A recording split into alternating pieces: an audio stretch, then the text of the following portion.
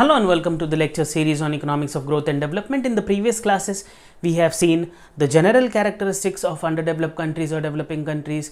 Then we built our idea of the economic characteristics and then we built on to something called as the technological characteristics of a developing country or underdeveloped country. In today's class, I have for you the demographic characteristics of an underdeveloped country or a developing country. So let's get started. The first point here is talking about high growth rate of population. Now, high growth rate of population particularly boils down to something called as the majority of population is in the lower age group that is the children are below the age of 15 years. That means the population is unproductive population. So let us look at it from a very different perspective. What i'm saying here is the population is growing constantly at a rate of 3 to 4 percent in the developing economies.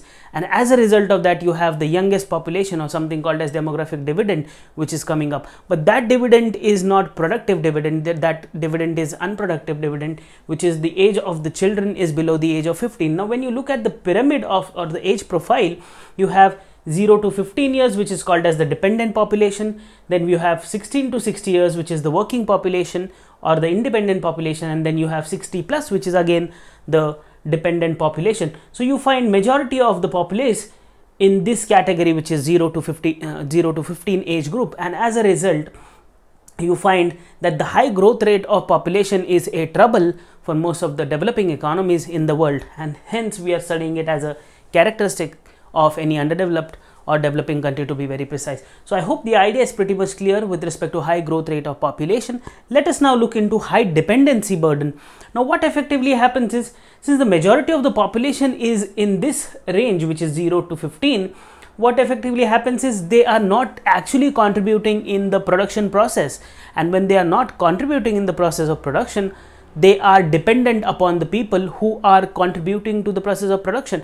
But as a result of high number of these unproductive or dependent populations the effective rate at which the country should grow is being hindered.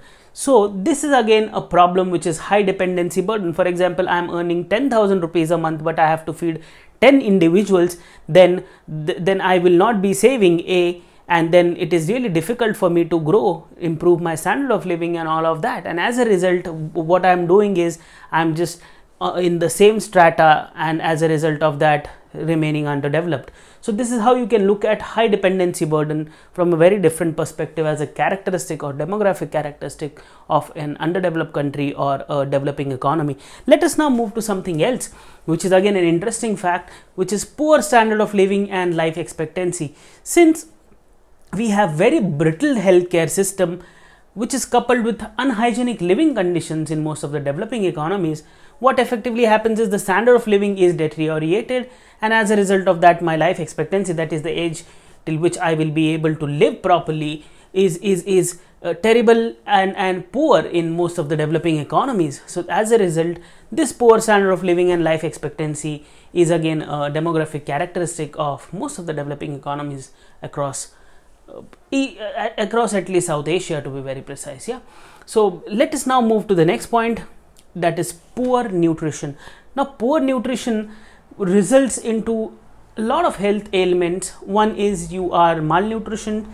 The second is you have health emergencies and ill health and as a result of that your productivity or your contribution to the process of production reduces when your productivity reduces obviously the output is going to uh, reduce and as a result of it your income is going to reduce. And and obviously that reduced income is also spent on something called as the health uh, emergencies which are happening because of poor nutrition.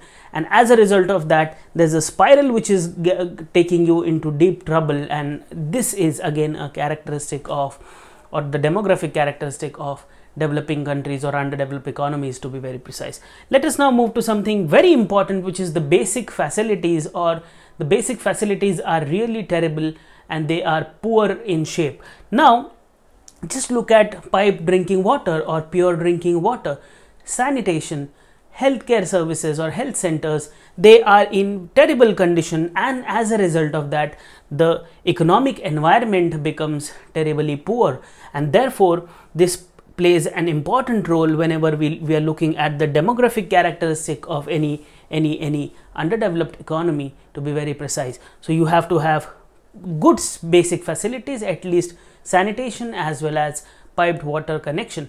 So this is again an important point. Let us now move to something which is very important as far as developing economies are concerned which is called as brain drain. Now what is effectively happening is there is outflow of my skilled labor. Now when the skilled labor is taking education in the domestic country and getting out of the country just to earn better earnings what is effectively happening is he or she is contributing to the betterment of any other country. No matter he is sending some remittances back home but primarily he is contributing to the development of that particular economy wherein he he or she is working. And as a result of that the economies which which have very good demographic characteristic that is very uh, talented individuals or skilled individuals they are at the backdrop. So they are the ones who are on the losing side. And therefore brain drain is again a demographic characteristic of developing economies or underdeveloped countries. So i hope the idea of demographic characteristics is pretty much clear. Please stay tuned. Thank you